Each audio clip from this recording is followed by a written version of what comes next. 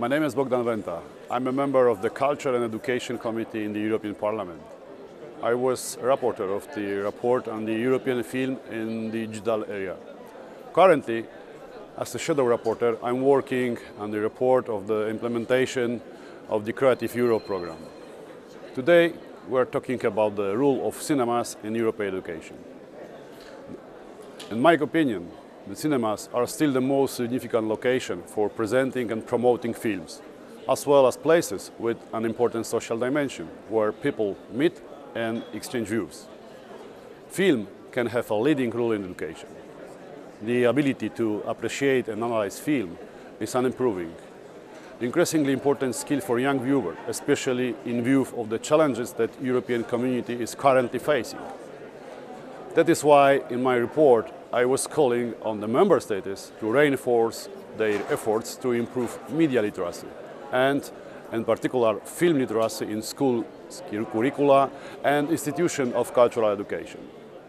Film education should equip the public with essential media skills and give them a better understanding of the different content available. Teaching citizens how to read an image is an integral element of education broadens the knowledge about the world, forms the process of perception and thinking, develops imagination, and helps them learn to language of, of film. By introducing a young viewer into the world of film culture, it is highly probable that uh, as an adult he will maintain the interest in available of film creation and appreciate them. In my opinion, film literacy has a significant impact on individuals 75% of young viewers declare that same film have influenced them a large degree. Uh, for that reason, film literacy classes at all levels of schooling in the member states plays very important role and offers long-term benefits.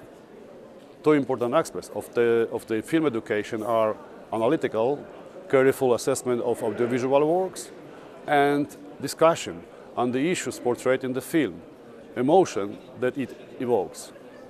Watching European films is one of the best ways to get to know the history, culture, traditions, and language of our European neighbors. Another great advantage of film education is the role it plays in, uh, as an introduction into media education, which is one of the educational priorities of the EU.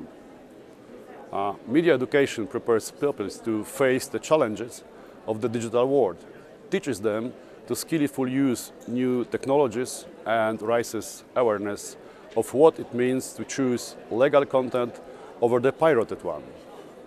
It isn't about having the right answers. Rather, it is about asking the right questions. In the framework of the 2014-2020 financial perspective, the European Union's programs, especially media and Media Mundus, must be reviewed there is a significant need to maintain a strong financial support for the cinema and more widely to cultural uh, and education. Acculturation cannot be dissociated from the education.